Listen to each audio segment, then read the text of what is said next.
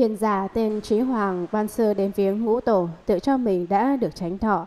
Người ngồi, trường trong am chọn 20 năm. Đệ tử của đại sư là huyền sách đi du phương đến Hà Sóc, nghe danh Trí Hoàng cất am, bèn tìm mà hỏi rằng, Thầy làm gì ở đây? Trí Hoàng đáp, nhập định. Huyền sách nói, thầy nói nhập định, nhưng hữu tâm mà nhập hay vô tâm mà nhập. Nếu vô tâm mà nhập thì cả thầy loài vô tình như cây cỏ ngói gạch cũng định được. Còn nếu hữu tâm mà nhập thì các loài hữu tình hàm thức cũng định được. Trí Hoàng nói, tránh tôi lúc nhập định không thấy có cái tâm hữu vô. Huyền sách nói, không có cái tâm hữu vô tức là thường định, nào có xuất nhập. Nếu có xuất nhập tức chẳng phải là đại định. Trí Hoàng không trả lời được. Một hồi lâu hỏi rằng, thầy của nhân giả là ai? Huyền sách đáp, thầy tôi là lục tổ ở Tào Khê. Chí Hoàng hỏi, lục tổ lấy pháp gì làm thiền định? Huyền sách nói, cứ theo chỗ thầy tôi nói, thiền định là tánh thật trong sạch, hoàn toàn vắng lặng. Thể dụng như như, năm uẩn vốn không, sáu trần chẳng có, không xuất, không nhập, không định, không loạn. Tánh thiền không trụ ở một chỗ nào. Lìa cái niệm tưởng về chỗ trụ thiền. Tánh thiền không sanh, lìa cái niệm tưởng về chỗ sanh thiền. Tâm như hư không, nhưng không có cái lượng của hư không. Giảng Thiền sư Trí Hoàng ban đầu tham bái ngũ tổ Hoàng Nhẫn. Người tu đạo từ xưa đến nay tầm sư hỏi đạo tham bái thiện tri thức cần tìm những vị minh nhãn thiện tri thức mà nương theo học tập. Thiền sư Trí Hoàng tự xưng đã được tránh định, đắc được đạo lý chân chánh, ngài trú trong một mái am tranh, tạm tránh gió tránh mưa, ngồi không nằm đã có hơn 20 năm. Đệ tử của lục tổ đại sư là thiền sư huyền sách, ngài đi khắp nơi theo lục tổ đại sư truyền đạo, Ngài đi các nơi tham vấn đến Hà Sóc, Hà Bắc, nghe đến tên của Pháp Sư Trí Hoàng. Vì Pháp Sư ngồi không nằm 20 năm, rất nhiều người đều biết Pháp Sư là người tu hành. Vì thế huyền sách đến am tranh của Pháp Sư thăm hỏi. Ngài ở đây làm gì? Trí Hoàng đáp. Ông hỏi tôi cái gì? Tôi ngồi đây nhập định. Pháp Sư huyền sách nói, ông nhập, nhập định thì tâm có niệm muốn nhập định hay là không có niệm muốn nhập định. Nếu như ông nói vô tâm nhập định thì tất cả lại vô tình, không có tri giác, không có khí huyết, như cây cỏ đá gạch đều có thể nhập định. Nó cũng đều có thể đạt được cảnh giới nhập định. Nếu ông nói hữu tâm nhập định thì tất cả chúng sanh, hàm thức hữu tình, có khí, có huyết, có cảm tình đều đã được định. Thiền sư Trí Hoàng trả lời, lúc tôi đang nhập định, tôi không thấy tôi có tâm hữu vô, hoặc là có hữu tâm nhập định hoặc là vô tâm nhập định, lúc này tôi đều không không. Huyền sách nói, ông đã không thấy có tâm hữu vô, đó gọi là thường định, vậy ông xuất nhập đi đâu, làm sao xuất định, làm sao nhập định, theo lời của ông thì không thấy có tâm hữu vô, đó chính là thường định. Nó không có xuất nhập thì làm sao lại sanh ra cái xuất nhập, ông làm cái gì thế? Nếu có xuất nhập đó không phải đại định, không phải định do Phật, do tổ thuyết. Thiền sư Trí Hòa nghe xong không trả lời được, suy ngẫm rất lâu, nghĩ ra lời mình nói không có đạo lý đích xác, đạo lý của người khác nói có trí huệ hơn mình. Dù suy nghĩ rất lâu cũng không trả lời được, liền hỏi sư phụ của ông là ai, ai truyền pháp cho ông. Thiền sư Trí Hoàng không nói việc khác vì thấy huyền sách biện tài vô ngại, vậy thì sư phụ của ông ta nhất định càng thông minh hơn nữa. Huyền sách trả lời, sư phụ của tôi là lục tổ đại sư, hòa thượng phương trưởng chùa Nam Hoa ở Tào Khê. Chí Hoàng hỏi lục tổ đại sư lấy cái gì làm thiền định?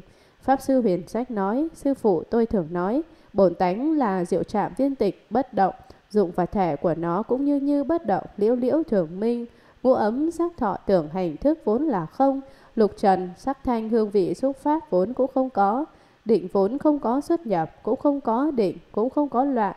Sau khi ông hiểu rõ diệu dụng của bổn thể thì biết tánh chất của thiền không có trụ, cũng không có rời trụ, nó ly khai chấp trước tịch diệt, nó ly khai đại thiền chết. Tự tánh thiền là vô sanh, cũng ly khai tưởng sanh thiền định, tâm tự tánh giống như hư không, nhưng cũng không có tư tưởng hư không. Trí Hoàng nghe nói vậy, bèn đi ngay đến viếng đại sư. Sư hỏi rằng nhân giả ở đâu lại, Trí Hoàng thuật đủ duyên do đã kể trước. Sư nói, quả thật như chỗ nói ấy, tâm ngươi chỉ cần như hư không, nhưng chẳng dính níu, chỗ thấy không, ứng dụng thông suốt, không trở ngại, động tịnh đều vô tâm, phàm thánh đều quên dứt, tâm năng tâm sở đều diệt trừ, tánh tướng như như thì không có lúc nào mà chẳng định. Trí Hoàng nghe lời này liền đại ngộ, xem lại chỗ sở đắc của mình trong 20 năm đều không có ảnh hưởng chi cả. Đêm ấy tại Hà Bắc, các quan dân nghe trên không trung có tiếng rằng Trí Hoàng Thiền Sư ngày nay đắc đạo. Sau Trí Hoàng làm lễ từ giã đại sư lại trở về Hà Bắc mà khai hóa tứ chúng, rằng Trí Hoàng nghe lời huyền sách nói, cảm thấy đạo lý lục tổ nói ra vô cùng tuyệt diệu, liền đi theo huyền sách đến bái kiến lục tổ đại sư. Lục tổ đại sư hỏi, nhân giả, ông tử đâu đến? Pháp sư Trí Hoàng liền kể cuộc vấn đáp giữa mình và huyền sách. Lục tổ đại sư nói, đúng như ông nói, ông chỉ cần có tâm như hư không, nhưng cũng không được chấp không kiến, không nên có một cái không kiến trong tâm. Nếu ông được như thế thì ứng dụng vô ngại, việc đến thì ứng, việc đi thì tịnh. Đi đứng nằm ngồi đều không có tâm, cũng không nên nghĩ tôi là phàm phu hoặc là thánh nhân, nên quên đi tư tưởng này. Cũng không có cái năng kiến, cũng không có cái sở kiến, cũng không có cái năng không, cũng không có cái sở không.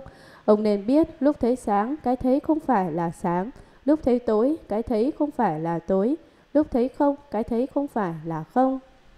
Lúc thấy biết, cái thấy không phải là biết, lúc thấy có, cái thấy không phải là có, lúc thấy vô, cái thấy không phải là vô. Cho nên Kinh Lăng Nghiêm nói, thấy cũng ly khai thấy, cái thấy mà mình thấy thì không thể thấy. Tánh cũng như như, tướng cũng như như, được như thế thì lúc nào cũng ở trong định. Trí Hoàng nghe lục tổ đại sư thuyết như thế hoát nhiên đại hổ công phu 20 năm tu hành đều biến mất không để lại dấu vết nào. Vì hơn 20 năm Trí Hoàng đều có cái tâm nhập định, nay cái gì cũng đều không, lại đắc bổn nguyên vạn pháp.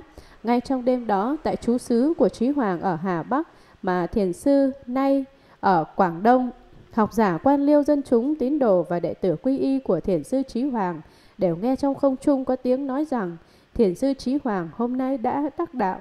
Đắc đạo tức là khai ngộ, thiền sư Trí Hoàng cung kính hướng lục tổ đại sư đành lễ, sau đó trở về Hà Bắc giao hóa tứ chúng đệ tử tại gia và xuất gia. Có một vị tăng hỏi đại sư rằng, người nào đặng cái ý chỉ của Đức Hoàng Mai? Sư rằng, người nào hiểu Phật Pháp đặng, bạch, phải hòa thượng, đặng trăng Sư nói, ta không hiểu Phật Pháp. Giảng, một lần nọ có một vị tăng, vị này thật là người cạt lão, là người thô lỗ không có học thức. Ông ta hỏi lục tổ đại sư một cách thô lỗ, y bát của ngũ tổ Hoàng Mai người nào được. Ông ta đã biết rõ ràng là lục tổ đắc mà cố ý hỏi. Vì ông ta hỏi như thế không cần đặt vào vị trí lúc đó. Nhìn thấy người này án theo kinh văn, quý vị suy đoán liền biết người này là kẻ nhà quê không có học vấn. Một mặt có thể nói là biết rồi vẫn hỏi, mặt khác có thể nói là có tâm khinh thị đối với lục tổ. Tại sao nói có tâm khinh thị? Người này, ý người này muốn nói rằng ông là người không biết chữ, làm sao có tư cách kế thừa y bát của ngũ tổ. Lục tổ đại sư trả lời, người hiểu rõ Phật Pháp được y bát của ngũ tổ. Vị tăng này lại hỏi, hòa thượng đã được hay là chưa được? Ý tức ông ta không tin tưởng lục tổ là người kế thừa y bát của ngũ tổ cho nên lại hỏi, hòa thượng có được không? Lục tổ đại sư nói, tôi không hiểu Phật Pháp. Lục tổ đại sư không nói tôi được hay không được, mà nói tôi không hiểu Phật Pháp. Các vị nghĩ xem ở đây lục tổ đại sư nói thiệt hay giả. Một ngày kia, sư muốn giặt cái pháp y của ngài đã được truyền thọ mà không tìm được suối trong. Nhân đi đến sau chùa ước năm dặm, thấy núi rừng rậm rạp, thoại khí bao răng. Sư sốc cây tích trượng xuống đất, mạch suối liền ứng theo tay mà chảy ra, chứa đầy thành ao. Sư quỷ gối trên tảng đá mà giặt áo. Bỗng đâu có một thầy tăng đến làm lễ và nói rằng Tôi là Phương Biện, người ở Tây Thục, vừa rồi ở Nam Thiên Trúc, thấy Đức Đạt Ma Tổ Sư dặn Phương Biện này mau qua nước đường. Ngài nói, cái chánh pháp nhãn tàng của tổ đại ca diếp mà ta đã truyền và cái pháp y ta đã thấy truyền xuống tới đời tổ thứ sáu tại Tào Khê, tỉnh Thiều Châu. Ông hãy đến đó mà chiêm lễ. Phương biện này từ xa đến, xin xem y bác của thầy tôi đã truyền. Rằng, một ngày nọ lục tổ đại sư muốn giạt pháp y của ngũ tổ truyền cho nhưng không có suối sạch cho nên đến vùng đất sau chùa Nam Dặm, suối Trạc Khê ở sau chùa Nam Hoa, cách chùa một dặm đường. Dòng suối hiện nay không nhất định là dòng suối mà lục tổ đã giạt y lúc trước. Nhìn cây cỏ xanh tốt sum xuê, dáng trời rực rỡ, mây lạnh bao quanh, xoay chuyển trên đỉnh núi, người mà đắc ngũ nhãn lục thông, ở chỗ nào có khí sắc gì vị đó vừa nhìn liền biết.